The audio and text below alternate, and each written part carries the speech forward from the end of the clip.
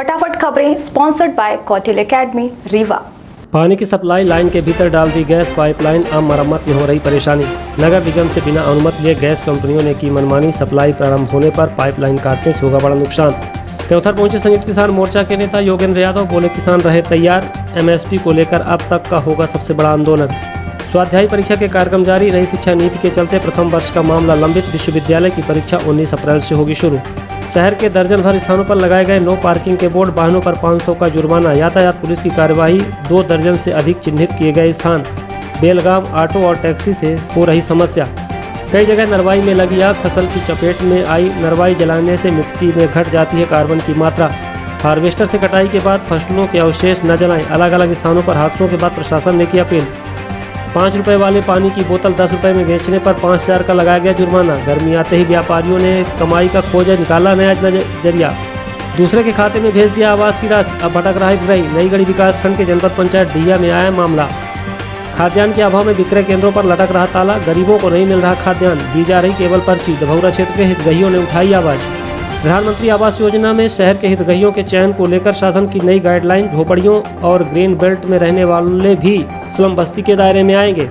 मिलेगा सस्ता आवास ईडब्ल्यूएस कोटे के लिए मानक निर्धारित, बंद हो चुकी राजीव आवास योजना के नियम भी होंगे लागू। सीएम हेल्पलाइन में लापरवाही बरतने वाले छह पटवारी निलंबित, कलेक्टर ने दिखाई सख्ती। आधा दर्जन अधिकारियों के निलंबन का भेजा प्रस्ताव, कई तहसीलदारों को भी थमाई गई नोटिस।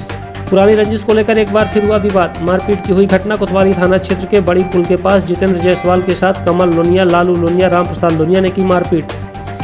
पुरानी रंजिश को लेकर पवन गुप्ता के साथ आधा दर्जन बंसल परिवार के लोगों ने की मारपीट। कोतवाली थाना क्षेत्र के रानी तालाब में हुआ विवाद। पीड़ित की शिकायत पर पुलिस ने कराइला लूटा आमिर राकेश के साथ अन्य के खिलाफ दर्ज किया मामला।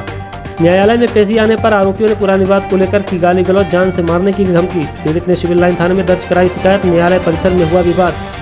कमलेश कुमार शर्मा की शिकायत पर राम लखन शुक्ला, ऋषभ शर्मा और राम बिहारी शर्मा के खिलाफ शिकायत दर्ज। सिविल लाइन थाना क्षेत्र में एक बार फिर हुई लूट की घटना, कबाड़ी मोहल्ले के सामने ट्रांसपोर्टर के दुकान के सामने खड़े ट्रक चालक के साथ की गई मारपीट, मोबाइल और नकदी छीन लिए गए बदमाश। पीड़ित की शिकायत पर दर्ज हुआ मामला, पुलिस जाँच में जुटी।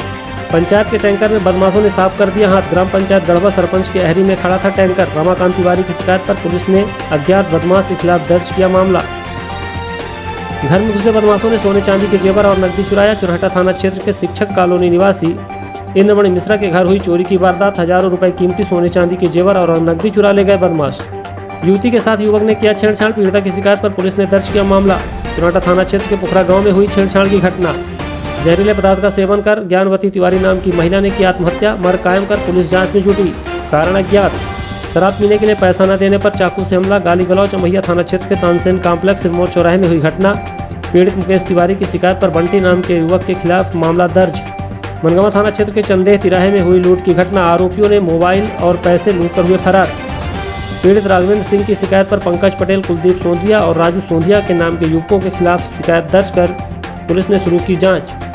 मोबाइल और पाँच सौ रुपये नकदी छीन ले गए बदमाश। अवैध रूप से नलकूप का खनन करने वाले के खिलाफ कलेक्टर के आदेश की अवहेलना करने का मामला दर्ज। पुलिस ने तमिलनाडु निवासी मशीन चालक के खिलाफ दर्ज किया मामला। मऊगंज चाक मोड़ में की जा रही थी बोरिंग।